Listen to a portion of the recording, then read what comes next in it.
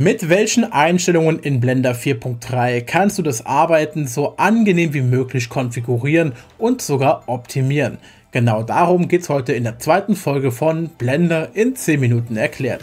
Ich bin der Truly Most Wanted und wenn dir dieses Video gefallen sollte, lass gerne jetzt einen Like da, abonniere wenn du mehr sehen möchtest und stell im Laufe des Videos deine Fragen und dein Feedback gerne in den Kommentaren. Vielen Dank dafür und schon geht's los. Für diese Serie habe ich die Version 4.3.2 frisch installiert, genau wie du vielleicht auch im letzten Video. Wir kriegen am Anfang hier diesen kleinen Splash Screen zu sehen, mit eben dem Artwork zur aktuellen Blender-Version und wenn du bereits Blender vorher auf deinem Rechner hattest, hast du hier unten einen Button, der dir erlaubt, aus Blender 4.2 oder anderen Versionen die Präferenzen zu importieren.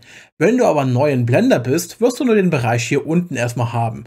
Da kannst du die Sprache umstellen und du siehst, du hast eine ganz große Auswahl. Deutsch ist da auch dabei, aber ich bleibe für diese Serie bewusst im Englischen, aber keine Sorge, ich erkläre alles auf Deutsch, denn mir geht es darum, dir auch nicht nur zu zeigen, wie es auf Deutsch eben funktioniert, sondern dass du auch in Englisch die passenden Begriffe findest, weil es im Englischen weitaus mehr Ressourcen gibt. Obendrauf das Farbschimmer von Blender, du kannst es natürlich in hell umstellen oder eben in dunkel. Nehme ich hier in dem Falle und unten drunter das Key Mapping, Tastenbelegung. Dann ist interessant, wie willst du Sachen in Blender auswählen im Allgemeinen? Mit der linken oder mit der rechten Maustaste? Das kannst du hier auswählen. Ich nehme hier klassisch links. Und dann haben wir noch hier unten die Spacebar Action. Die ist grundlegend auf Play. Wir hätten auch ein Toolfenster oder eben die Suchleiste. Wenn du am Anfang nicht weißt, was im Blender wo ist, empfehle ich dir die Suchleiste. Später wiederum empfiehlt sich Play. Aber wir nehmen auch hier die Search-Funktion und wir machen hier Speichern der neuen Präferenzen. Jetzt kriegen wir den Splash Screen, wie er immer kommt, wenn wir beim zweiten, dritten und vierten Mal Blender starten. Denn wir haben jetzt hier eben die Möglichkeiten, neue Arten von Projekten anzulegen und wir werden im Laufe der Serie alle mal hiervon durchgehen. Wir haben hier drüben verschiedene Guides und Infos und natürlich auch die Möglichkeit, letzte Projekte zu öffnen oder allgemein Projekte zu öffnen. Damit du in Blender alles problemlos anklicken kannst, brauchst du erstmal ein neues Projekt. Und du hast zwei Wege, hier eins anzulegen. Der erste Weg ist, hier im Splash Screen einfach die Projektart anklicken und schon hast du ein neues Projekt davon. Der zweite Weg ist, einfach in den Hintergrund klicken, der Bildschirm verschwindet und du hast ein neues allgemeines Blender-Projekt automatisch. Wenn du den Splash-Screen wieder öffnen möchtest, kannst du oben in der schwarzen Leiste auf das weiße Blender-Logo klicken und hier einfach Splash Screen auswählen. Schauen wir uns jetzt an, wo wir diverse Einstellungen finden. Es gibt auch schon in diesem Fenster hier welche, aber die zeige ich dir gleich, um das Ganze ein bisschen besser fürs Video lesen können. Zuerst gehen wir in der Menüliste ganz oben links hier auf Edit und dann haben wir unten Preferences, was eben im Deutschen Präferenzen wäre. Und dann kriegen wir dieses Fenster hier mit verschiedenen Bereichen und Einstellungen. Gerade für dieses Video und für die Livestreams erhöhe ich immer ein bisschen die Größe aller Texte. Und dafür werde ich hier oben unter Display Resolution Scale den Wert von 1,0 auf 1,1 setzen oder auch vielleicht sogar fürs Video 1,2 eher. Und ihr merkt, alles außen drumherum und auch die Texte hier innen werden besser lesbar. Das dürfte jetzt dir im Video auch eine bessere Übersicht geben und das Ganze besser nachvollziehen können. Zum Ändern der Sprache haben wir weiter unten den Abschnitt Language mit einem Dropdown.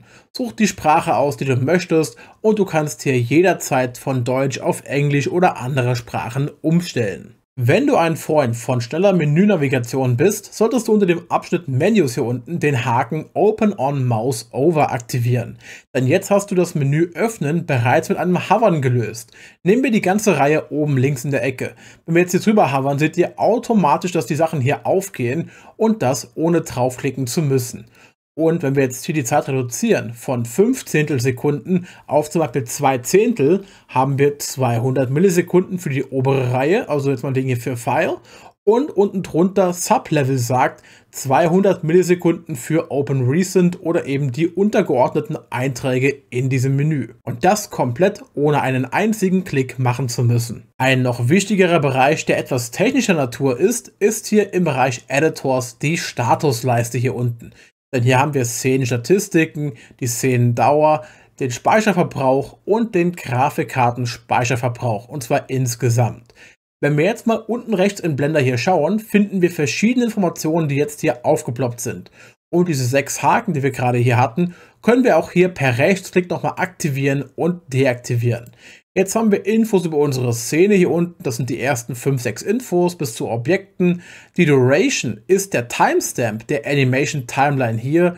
Denn wenn wir hier reinklicken und den Marker verschieben, siehst du unten rechts, wie eben der Frame sich ändert. Dann haben wir einmal den Memory, eben den Arbeitsspeicherverbrauch für unser Projekt und VRAM, das ist der Arbeitsspeicher der Grafikkarte insgesamt, nicht nur von Blender, auch vom Aufnehmen gerade und allen Programmen, die im Hintergrund bei mir laufen. Wenn du in der 3D-Welt am Arbeiten bist im Hintergrund, willst du auch alles richtig lesen und interpretieren können. Deswegen gibt es den Reiter Viewport und hier unten haben wir bei Display die Size, den letzten Wert, den wir auf maximal bis zu 200 Pixel setzen können.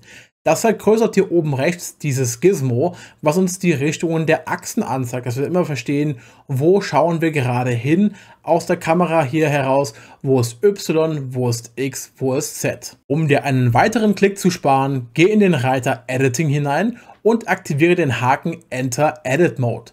Das sorgt dafür, dass jedes Mal, wenn du im Hintergrund hier in diese 3D-Szene ein neues Objekt einfügst, du automatisch in den Bearbeitungsmodus für dieses Objekt gehst.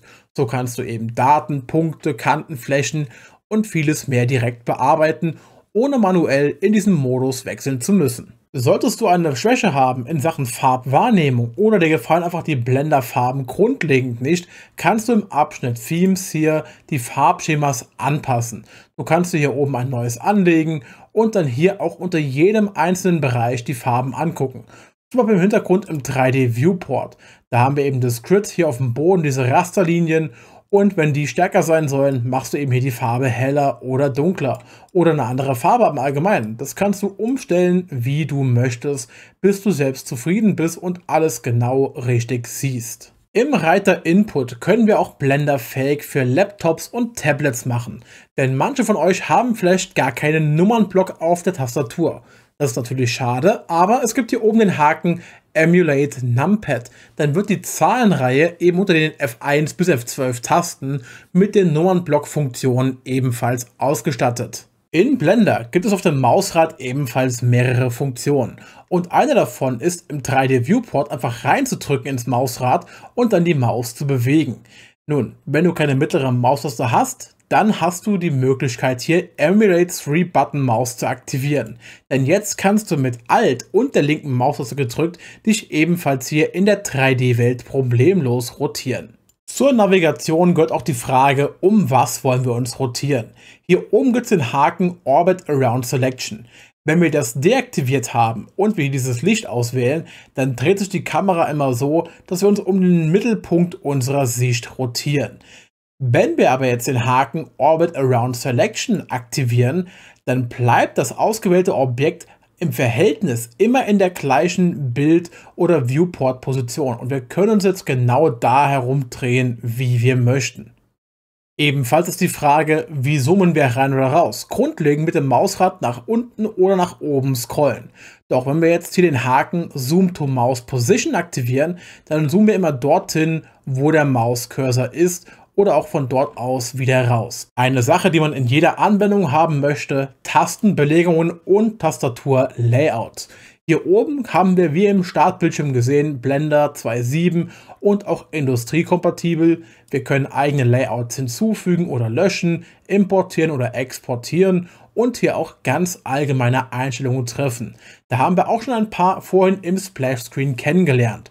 Eben die Auswahl mit der Maustaste links oder rechts oder die Leertastenaktion Play, Tools oder Search können wir auch hier jederzeit umstellen.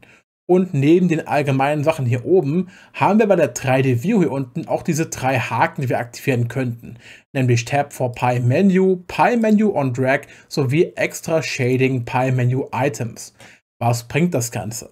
Wenn du im Hintergrund mal den Würfel anklickst, hast du hier oben links dieses Dropdown, zum Beispiel Object Mode. Und hier haben wir sechs Mode, die wir auswählen können. Normalerweise wechselst du mit Tab zwischen dem Object und Edit Mode. Aber wenn du jetzt das Tab gedrückt hältst und du die Maus bewegst, hast du hier ein Kuchenmenü, wo du einfach nur drüber hovern musst, was du haben möchtest, zum Beispiel hier eben Edit Mode und du lässt Tab wieder los und du bist direkt in diesem Modus. Du kannst nur eben mit kleiner Mausbewegung und kurzen Navigationswegen in die passenden Modi wechseln. Obendrauf auch noch Tastaturbelegung. Ich kann dir nicht empfehlen, Tasten zu ändern, aber damit du das Ganze mal siehst, hier unten haben wir zum Beispiel den Bereich Window. Den können wir aufklappen. Hier sind alle Funktionen für das Window. Von Dateien anlegen, speichern etc. pp.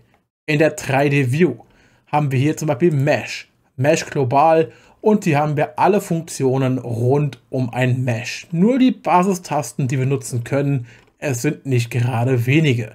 Deswegen auf Dauer einfach Tastenkombinationen einprägen und nutzen. Im Abschnittssystem finden wir allgemeine Einstellungen wie unter anderem die Rendergeräte, die wir im Cycles Renderer nutzen können und dann auch, ob wir CUDA, Optics, HIP oder One API nutzen wollen. Entsprechend der Modi können wir auch hier unsere Geräte auswählen, die eben dafür genutzt werden können und sollen. Und wir haben auch weiter unten allgemeine Einstellungen, wie zum Beispiel eben die Anzahl der Undo-Steps. Beim Reinklicken und nach rechts ziehen merken wir, wir können bis zu 256 Arbeitsschritte uns im Arbeitsspeicher merken und die auch wieder vorwärts und rückwärts wiederholen. Projekte speichern und laden hat auch hier seinen eigenen Abschnitt und hier können wir einstellen unter anderem, wie viele der zuletzt geöffneten Projektdateien sich Blender merken soll. Standardmäßig immer 20, das können wir erweitern bis auf die letzten 30 Projekte, die wir geöffnet hatten. Automatisches Speichern, die einen mögen es, die anderen nicht. Du kannst es deaktivieren oder aktiviert lassen und einen Timer hier oben einstellen, alle wie viele Minuten Blender automatisch speichern soll machen wir mal hier zum Beispiel jede Minute einen Speicherpunkt. Das letzte große Thema in Blender sind Add-ons und Erweiterungen. Und da hat sich im Vergleich zu früher eine Sache geändert. Add-ons sind bereits mit verfügbare Pakete, die auch in Blender integriert schon sind. Und die können wir bei Bedarf aktivieren und deaktivieren. Die sind also immer fest. Aber User erstellte Inhalte heißen jetzt Extensions und um diese erhalten zu können, müssen wir Online-Zugang erlauben. Wenn wir das hier drücken, dann wird hier unten im Bereich System der Haken Allow Online Access gesetzt und ab dem Zeitpunkt hier kriegen wir diese Liste Available und die können wir aufklappen. Da finden wir jetzt alle user erstellten Erweiterungen für Blender. Und wenn wir jetzt mal hier oben nach Dingen suchen, wie zum Beispiel hier, nehmen wir mal Loop Tools, dann haben wir hier oben dieses Plugin und wenn wir es haben wollen, hier von extensionsblender.org, können wir es hier oben rechts über den Button installieren und so in Blender integrieren. Und damit runden wir dann auch die heutige Folge ab. Das waren jetzt mehr als 10 Minuten, aber du hast die wichtigsten Einstellungen zum Anpassen deiner Arbeitsweisen mit Blender kennengelernt. Welche davon mochtest du besonders? Und vor allem, welche wirst du für dich persönlich nutzen? Bist du am Laptop oder eher am PC? Hast du ein Numpad oder hast du keins? Schreib's gerne mal in die Kommentare. Ich bin sehr gespannt. Ansonsten lass gerne einen Like, damit es dir geholfen hat. Abonniere, wenn du mehr sehen möchtest. Und ich freue mich über jede Frage und jedes Feedback in den Kommentaren. Jede Interaktion hilft. Vielen Dank fürs Zuschauen und bis zur nächsten Folge.